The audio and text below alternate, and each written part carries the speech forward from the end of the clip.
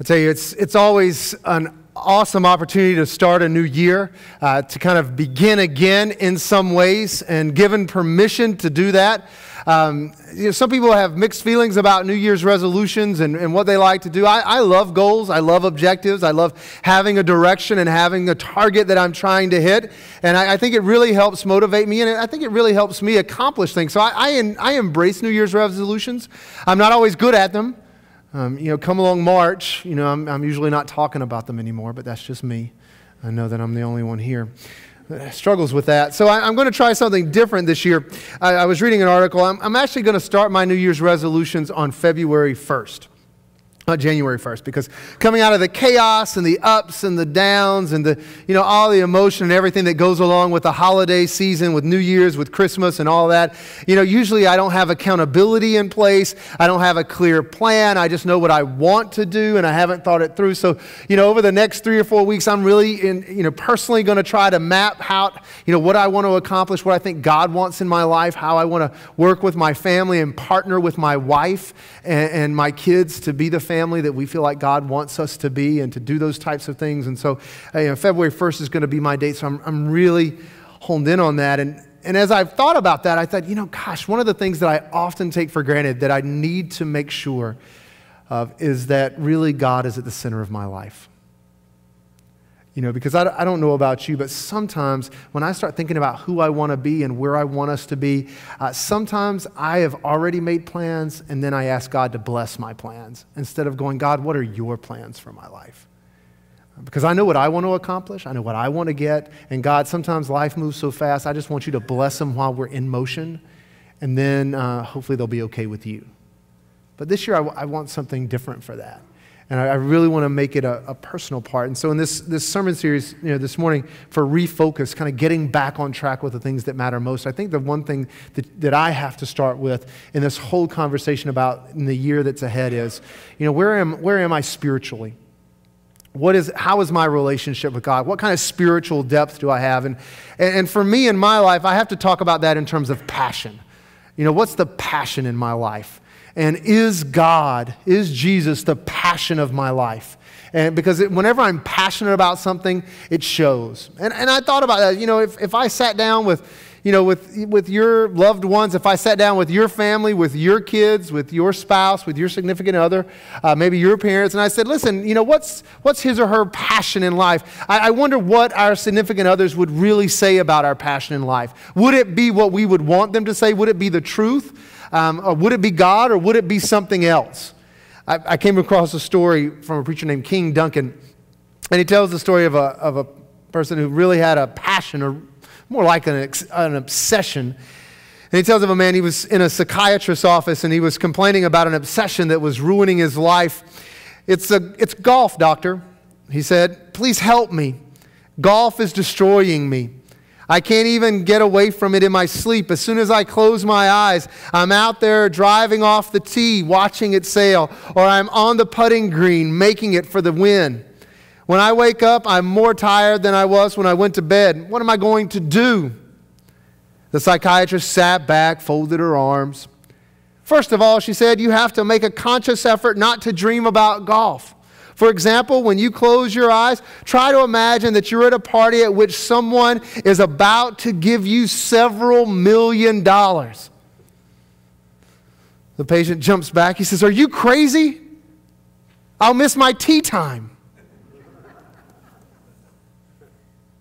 You know, it's, it's a chuckle, but it's true, right? For some of us, sports is our obsession, it's our passion. We can't live without it. What is it in your life that you can't live without? What is your passion? Success, family, work, yourself, wealth, stability? The truth is, our passions betray our hearts because it says in Scripture that wherever your treasure is, there will your heart be. And as I've said many times, if you really want to know probably what your passion is in your life, then just open up your calendar and open up your checkbook. Because if you can tell what your bank account says and what your calendar says, probably they will betray your priorities and your passions in your life. And even in church world, it's, it's dangerous as well because it's really easy for, for me as, as a leader and as a, as a person that is involved in the church world to make church my passion and not God. Because I know many of us, we can do the church thing. We can really get church down. We can come to worship. We can do Sunday school or small groups. We can make the committee meetings. We can do the mission work. We can do all of the right things in terms of religion, but miss out on the passion of the relationship with God. In fact, I have people who come to me and they're like, Pastor, I just don't know how to find that passion for my relationship with God anymore. I don't know how to develop that. I know how to do church, but I'm still trying to figure out how to live in a passionate relationship with God. In Luke chapter 10, a lawyer stands up and, and questions Jesus for all sorts of reasons. And I want to just share briefly the scripture with you this morning. It says, Just then a, a lawyer stood up to test Jesus. And the teacher, he said, What must I do to inherit eternal life? And Jesus said to him, What is written in the law? What do you read there? And the man answered, You shall love the Lord your God with all your heart, and with all your soul, and with all your strength, and with all your mind, and your neighbor as yourself. And Jesus goes on later and says, That is exactly what you're supposed to do. Now go. Now, I love this passage because, you know, it would have been really easy if Jesus would have just said, listen, all you have to do to inherit eternal life is to believe in me. Or I am the only way to the Father. Or if you would just pray the prayer, this is your way to, eternal, eh, to inherit eternal life. But no, he affirms two very distinct portions of the Old Testament that are brought together. He says, listen, these are redemptive in your life. If you want to experience abundance in your life on earth and eternal abundance with God in glory, then these are the two things that you have to keep in tension. You have to love the Lord your God with all your heart, with all your mind, with all your soul, and with all your strength. And you have to love others as you love yourself. So, if I'm talking about my spiritual depth, if I'm talking about getting my priorities straight, if I'm talking about building a passionate relationship with God, then Jesus says, listen, if you want to inherit eternal life, this is it. It's not just about believing, it's about loving, it's about serving, it's about being there. And it's not me who says it, it's Jesus, right? The way to abundance, the way to passion is to find that. You know, whenever I. Um, whenever I became a pastor, you know, what's funny is, you know, I started whenever I was pretty young, you know, I guess maybe about you know, what, 21 or 22, started doing this kind of pastor thing. And, you know, once people hear that you're a pastor, there's a, there's a sense of authority and trust and confidence that comes with that. And so all of a sudden, people start coming to me and asking me for wisdom or counsel or advice. And, you know, I'm still trying to figure a life out. And, you know, for the early parts, you know, from the very earliest parts of my ministry, I had couples um, who were coming into my office or coming to visit me and saying, listen, Pastor, we need help. And, you know, even earlier in my marriage, you know, whenever they would come and I was still trying to figure things out with my wife, you know, how, how to do this marriage thing, they would come and ask, you know, what happens when we, we lose that passion in between us? What happens when we, we don't feel that emotional connection anymore? And I started, you know, and I'd talk to them and I'd say, well, tell me, you know, tell me about that. And, and I would listen and I'd go talk to my peers and my mentors and I'd, you know, I'd read scripture. I'd start to reflect on my own personal experience and do those types of things. And, and so I'd come back, you know, after a while and I'd say, well, listen, tell me what it was like when you were passionately in love with one another. What, what did that look like? And you know, one of them would chime up, well, you know, we used to talk to the wee hours of the morning, just talking to each other, talking about our dreams and talking about our love and talking about, you know, things that we cared about. We would ask each other questions about the smallest things and the biggest things. And, and we would listen to one another and, and we would hear one another and we would be excited for one another. And then we would spend time together doing all sorts of things, small things, big things. And then we would also do things that we didn't really like to do because we loved the other person. So if they wanted to do it, we, we just love to do it because we, we love them. And so we would go with them even if we care, care less about the activity itself. And we started spending time together, listening, asking questions, being engaged, you know, doing things and all that stuff. And, and then you would see sometimes whenever people would start talking about that stuff, that their eyes would light up. They'd start to, you know, get excited again. And I'd say, well, listen, why don't you just take a month, take, take 30 days, and just go out and just do as many of those things as you can in the next 30 days, and then let's visit again.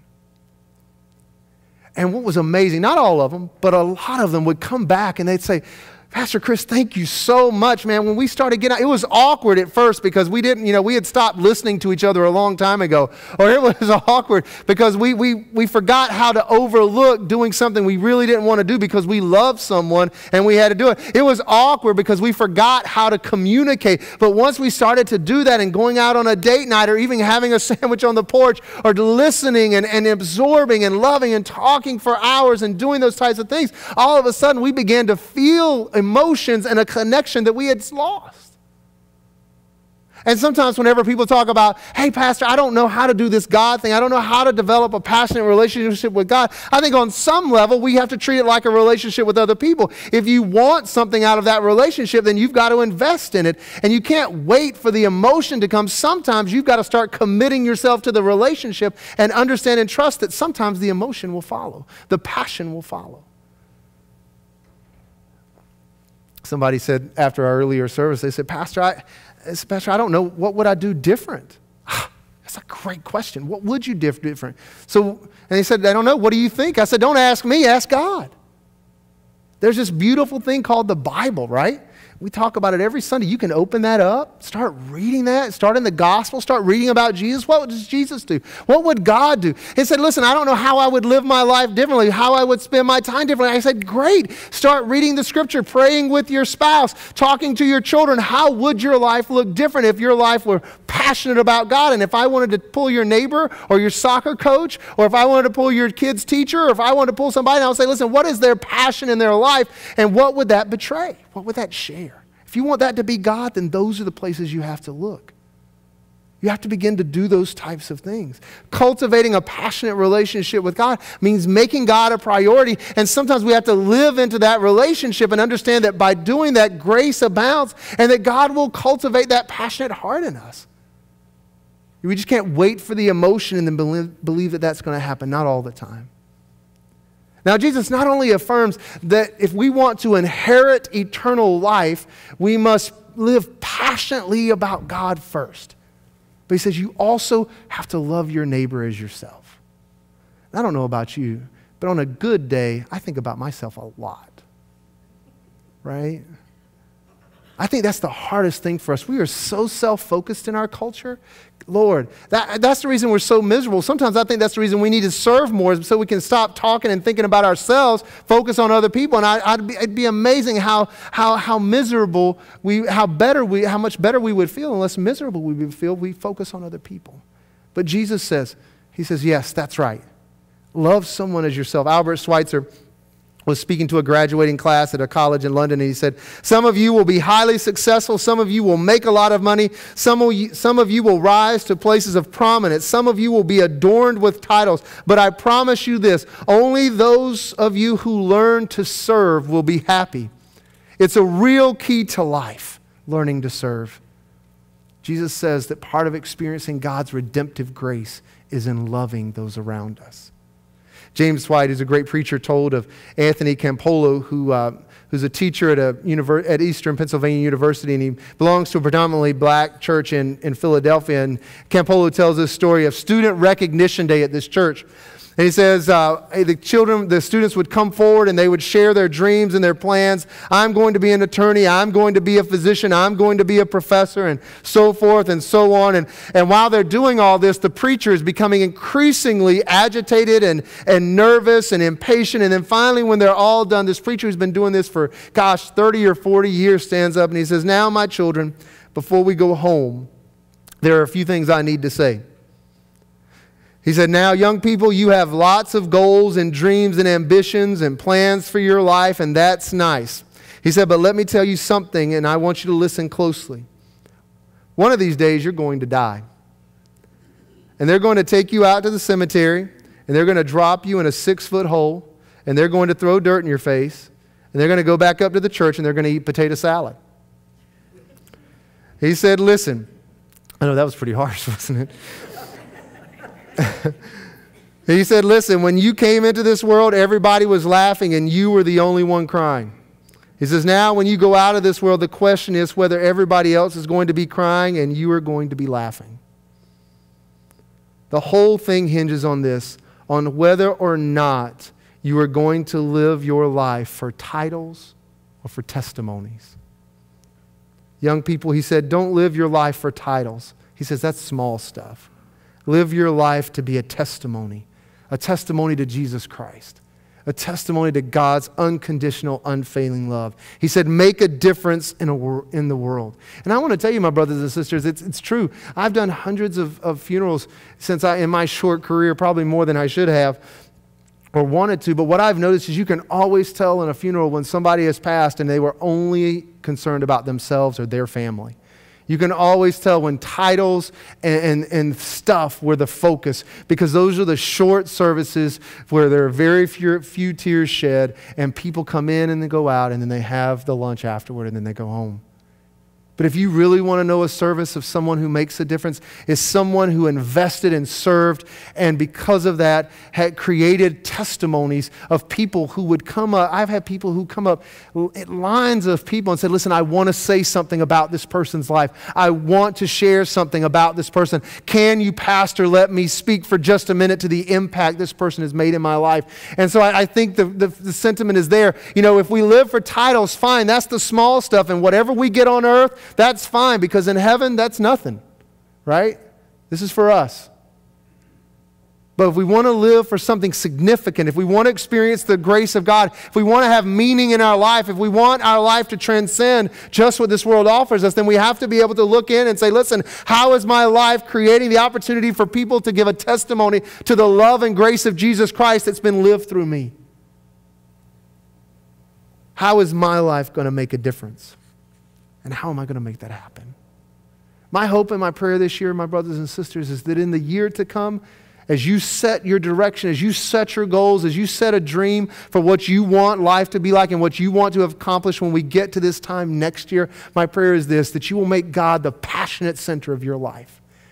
That you will live that relationship in such a way that people will know where your heart is. And that when you love, that the love that you have for God will pour out into the lives of people around you, and that because of your life, there will be testimonies that will come forth from people that you will interact with and engage and love and serve and work with over this next 12 months. That whenever and your day comes to whenever you go meet your Maker, that there will be people who will be lining up, not because of you, but because of what God did through you to attest to the love that God showed them through you.